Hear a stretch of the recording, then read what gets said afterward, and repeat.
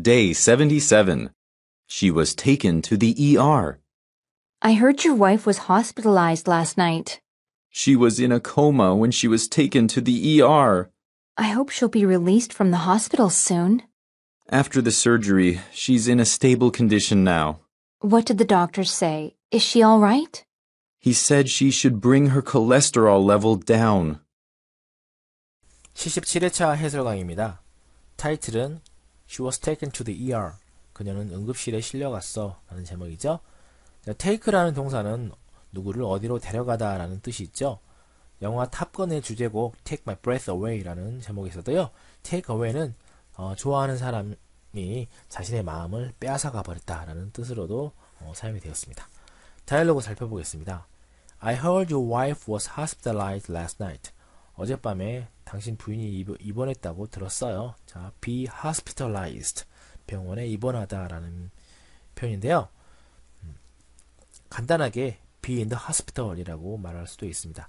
어, 예를 들어 친구가 독감으로 입원해 있어요를 영어로 한다면 A friend of mine is in the hospital from the flu 이렇게 얘기하시면 되겠죠. 음, hospitalize는 동사로 누구를 입원시키다 라는 표현인데요. 수동태로 사용된다는 점 기억해 두시기 바랍니다. She was in a coma when she was taken to the ER.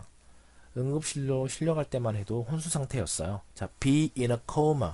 혼수 상태이다 라는 표현인데요. 그녀는 일주일간 혼수 상태였는데요. 지금은 괜찮아요. 영어로 해보면 She was in a coma for a week, but she's fine now. 이렇게 얘기하시면 되겠죠. 자, when she was taken to the ER. 자, be taken to the ER. 자, ER란 표현 emergency room의 어, 이니셜이죠. 자, 응급실이라는 표현이 되겠습니다. I hope she'll be released from the hospital soon. 그녀가 곧 퇴원할 수 있기를 바래요. 자, be released from the hospital. 병원에서 퇴원하다 라는 표현이 되겠죠. 우리 개동사를 사용해서 간단하게 또 get out of the hospital 이라고 할 수도 있습니다. 그녀는 어제 병원에서 퇴원했다. She was released from the hospital yesterday. 이렇게 얘기하시면 되겠죠. She got out of the hospital yesterday. 이렇게도 가능합니다. After the surgery, she is in a stable condition now. 수술을 받고 나서 그녀는 지금 안정을 되찾았어 라는 표현이죠.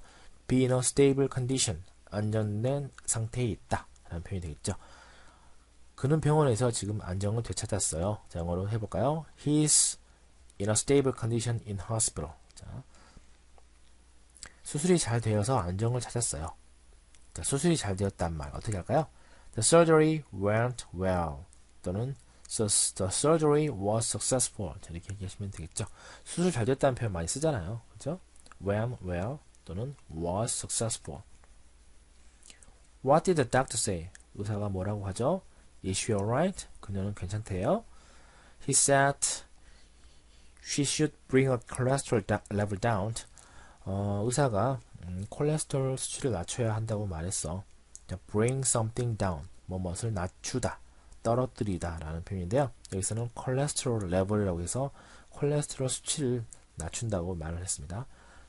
She should bring her cholesterol level down. 자, 약국에 가서 열을 내릴 만한 약 좀 주세요. 그럴 때 뭐라고 할까요?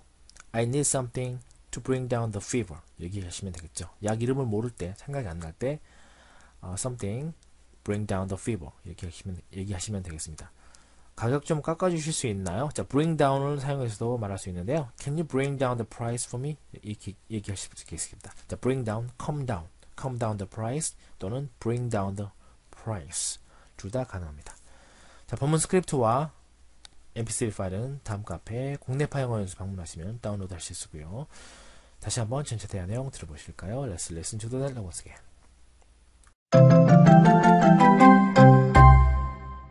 Day 77. She was taken to the ER. I heard your wife was hospitalized last night. She was in a coma when she was taken to the ER. I hope she'll be released from the hospital soon. After the surgery, she's in a stable condition now. What did the doctor say? Is she all right? He said she should bring her cholesterol level down.